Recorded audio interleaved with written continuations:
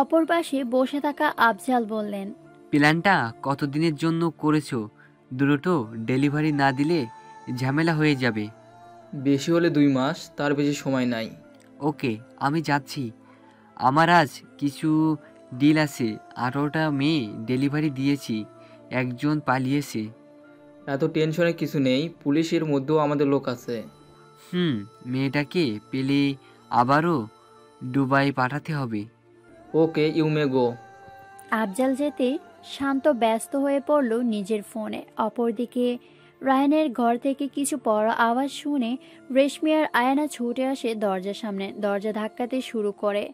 কয়েকবার ধাক্কা দিয়েও রায়নের তেমন কোনো সাড়া না পেয়ে ঘাবড়ে যায় দুজনে। রেশমি চিল্লাচিল্লিতে রেদওয়ান আর রায়নের দাদি ঘর থেকে বেরিয়ে আসে। রেদওয়ান দরজার কাছে গিয়ে বারবার ছেলেকে ডাকতে শুরু করে।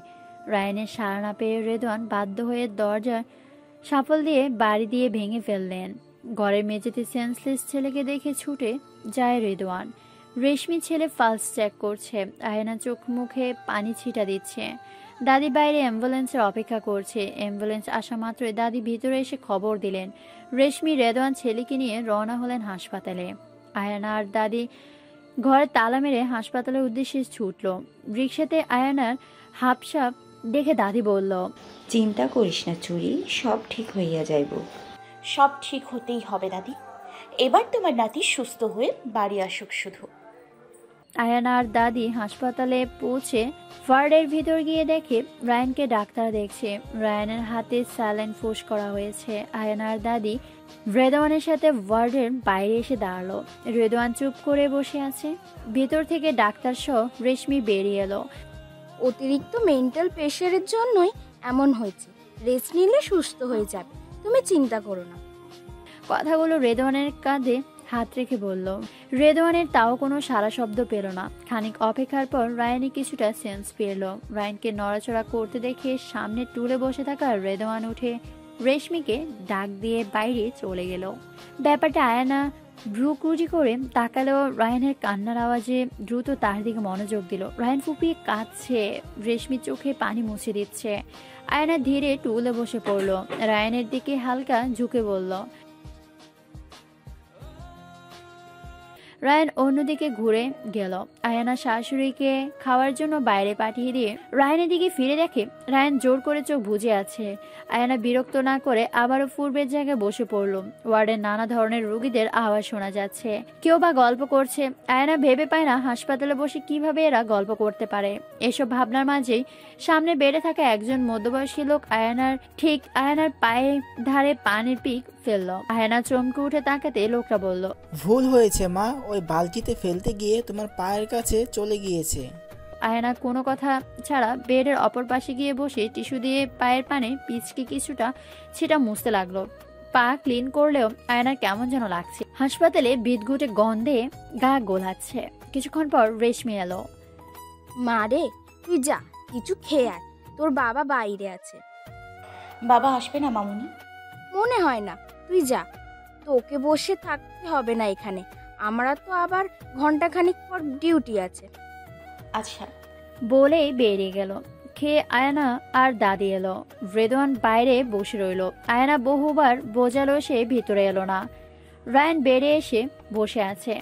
চোখ মুখ ভার করে রেশমি ওষুধ চেক করছে। আয়না দাঁড়াতে রেশমি বলল এসেছিস? বাবুকে বাড়িতে নিয়ে যাব বুঝলি? বাবু থাকতে চাইছে না। তুই তোর বাবাকে বল অটো ঠিক করতে। আয়না মাথা দুলে বাইরে গেল। দাদি টুলে এসে বসল। রায়নের সাথে কোনো রকম কথা বলছে না। মা আপনি আর আয়ু একটা অটোতে আসুন। আমি আর আপনার ছেলে বাবুকে নিয়ে আসছি। না গো বৌমা আমি তোমার আর তোমার পোলার লগে যাব।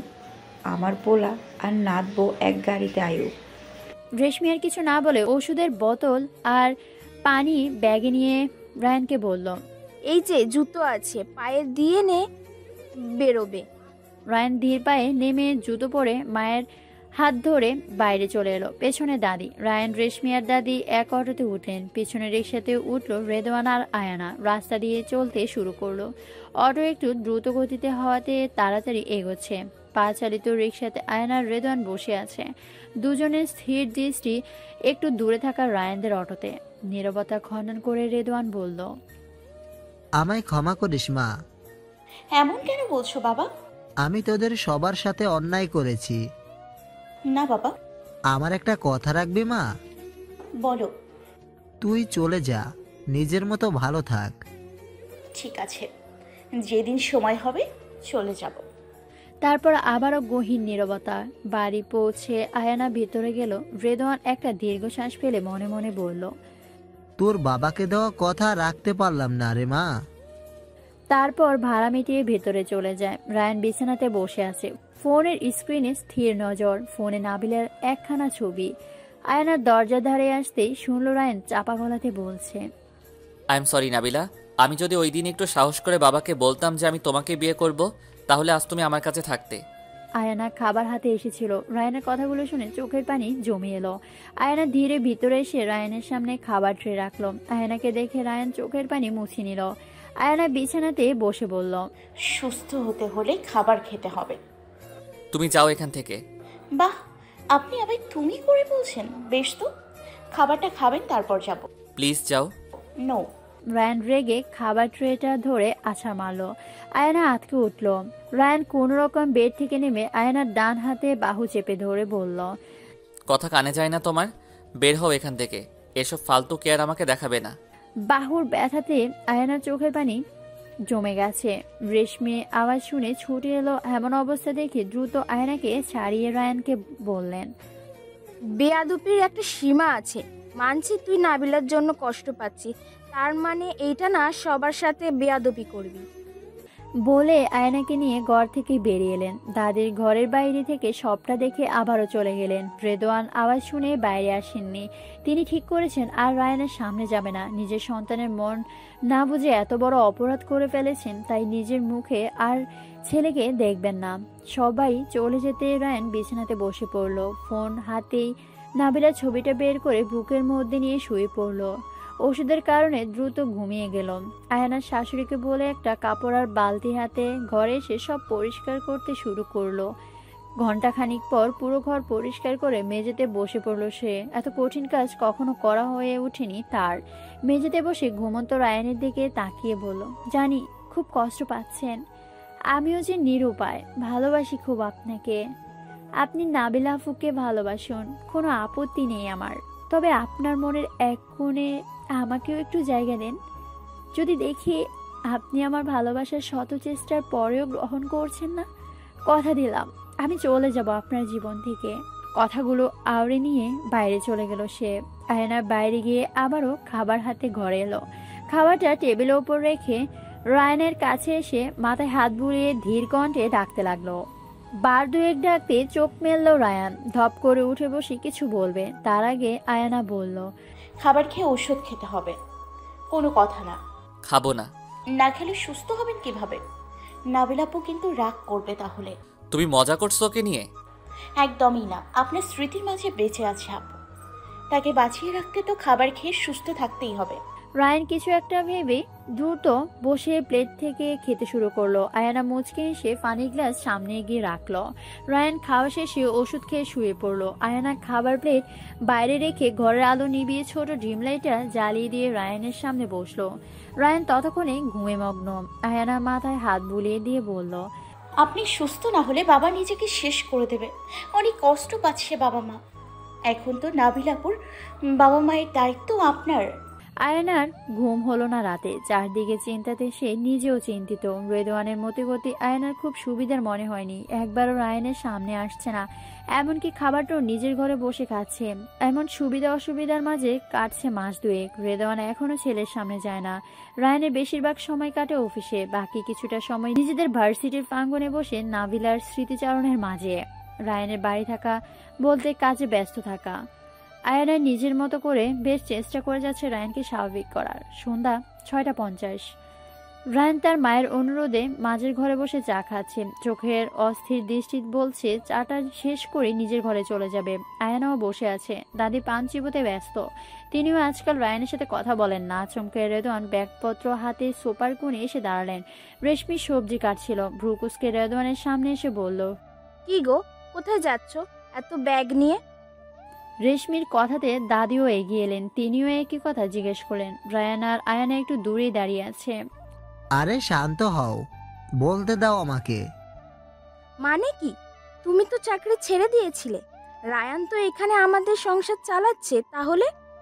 তোমার বিপির হার্টের সমস্যা। আরে আমার বসে থাকতে ভালো লাগে না। তাই নতুন চাকরি জোগাড় করলাম। ওরা একটু আগেই জানালো তাই রেডি হয়ে নিলাম। রেশমি ব্যাপারটা একটু আন্দাজ করে বলল তাহলে আমিও যাব। বলে ভিতরে চলে গেল। দাদি এগিয়ে এসে বলল এই অসুস্থ শরীর নিয়ে কি কাম করবি এখন? ভালো কাজ মা। রংপুরের একটা ট্যুরিস্টের হোটেলে। তুমি তোমার বউকে বোঝাও ওকে পরে নিয়ে যাব। আয়না দৌড়ে এসে রেদনকে জড়িয়ে ধরে বলল বাবা তোমার তো শরীর খারাপ। ওখানে থাকলে তো কষ্ট হবে। হবে না রে মা। আমি ওষুধ খাব সময় মতো। বাবা তোমার এখন তো রেস্ট নেবার সময়। আমার বেতনে সংসার ভালোই চলছে। আমার প্রমোশনও হবে আগামী মাসে। তোর কাদের ওপর অনেক চাপ দিয়ে ফেলেছি আমি। এমনিতেই তোর মতের বিরুদ্ধে কত কাজ করেছি তুই এখনও কষ্ট পাচ্ছিস। আর তাছাড়া সংসারে কিছু খরচ আমারও বহন করা উচিত। তুমি রেগে আছো বাবা? না রে রেগে তো তোর থাকার কথা। পারলে তোর বাবাকে ক্ষমা করে দিস। বলেই নিজের চোখের পানি আড়াল করে রেদোয়ানের ব্যাগ উঠিয়ে বাইরে চলে গেল। রায়ানও পিছু পিছু ছুটলো। বাবা সরি প্লিজ আমার ভুল হয়েছে। তুমি প্লিজ বাড়ি চলো। রেদওয়ান কোনো কথা ছাড়া চিএনজিতে উঠে পড়ল কিন্তু চিএনজি চালানোর আগে বাধা দিল রায়ান। বাবা তোমাকে কোনো কাজ করতে হবে না বাড়ি চলো। দেরি হচ্ছে বাবা ভালো থাকিস তোরা। না। রায়ান রেদনের ব্যাগ নিয়ে বাইরে এসে বলল চলো বাবা প্লিজ রেদওয়ান রাস্তায় ঝামেলা করবে না বলে রায়ানের সাথে হাঁটা ধরলো কারণ সে জানে রায়ান নাচের বান্দা। ঘরে এসে দাঁড়াতে রায়ান শক্ত করে রেদওয়ানকে জড়িয়ে ধরে চোখের পানি ছেড়ে দিল। আমি তোমার খুব খারাপ ছেলে বাবা। আমার কথাতে তুমি কষ্ট পেয়েছ অনেক তাই চলে যাচ্ছিলে। সরি বাবা। না রে আসলেই আমি ভুল করেছি। একটা ঘটনাকে কেন্দ্র করে তোকে কষ্ট দিয়েছি। না বাবা। সরি বাবা। দূর এত সরি বলিস না। যদি তোমাকে অসুস্থ শরীর নিয়ে চাকরি করতে হয় তাহলে আমার বেঁচে থাকা ব্যর্থ বাবা। রেশমি এসে রেদওয়ানকে জড়িয়ে ধরে কান্না করতে শুরু করল। রায়ান দুজনকে জড়িয়ে ধরে নিল। দাদি আর আয়ান একটু দূরে দাঁড়িয়ে দাদি পিস পিস করে বলল বুঝলি বউ মোরা হইলাম ও গোপর তুই আর মই আপন। বুঝলাম টেনিস বুড়ি। রাতে রায়ান ছাদে দাঁড়িয়ে আছে দৃষ্টি আকাশে স্থির। হঠাৎ আয়ানা আওয়াজে চমকে তাকালো দরজা দিকে। আয়ানার হাতে দু কাপ চা। সিগারেট খান না আপনি? না কেন বলো তো? আরে আমি গল্পে পড়েছি। ছেলেরা রাতে ছাদে দাঁড়িয়ে সিগারেট খায়। কোন গল্প? ফেসবুকের বেশিরভাগ গল্পে। রায়ান এবার জোরে হেসে দিল। আয়ানা মুগ্ধ নয়নে তাকিয়ে আছে। আজ কতদিন পর মানুষটা প্রাণ খুলে হাসছে। সোডিয়াম আর চাঁদের আলোতে রায়ানের হাসিটা আয়নার বুকের মাঝে শিহরণ সৃষ্টি করছে। রায়ান কোনো রকমে হাসি থামিয়ে বলল তাহলে আমারও উচিত সিগারেট খাওয়া? তা বলিনি মানে বেশিরভাগ ছেলেরা খায় তাই। তাহলে আমি ওই বেশিরভাগের মধ্যে নেই। ক্লাস সেভেনে থাকতে একবার একবার বন্ধুর থেকে একটা টান দিয়েছিলাম। মা বুঝতে পেরে তিন ঘণ্টা কান ধরে দাঁড় করিয়ে রেখেছিল। তারপর আর সাহস হয়নি। তবে কোনোদিন খুব খারাপ পরিস্থিতির সামনে পড়লে ভেবে দেখব। ও, আমি জানতাম প্রায় সবাই সিগারেট খায়। রায়ান হালকা হাসলো। আচমকায় আয়ানার চিৎকারে রায়ানের চায়ের কাপ ফেলে দ্রুত ছুটে গেল। রায়ান যাওয়ার আগে আয়না লুটিয়ে পড়ল মাটিতে রায়ান দ্রুত গিয়ে আয়নাকে কোলে তুলে ঘরে এসে তার মাকে ডাকতে শুরু করল। রেশমি ছুটে এসে সব শুনে আয়নাকে ভালোভাবে দেখেও আয়নার চিৎকার করা আর সেন্সলেস হওয়ার কারণ বের করতে পারল না।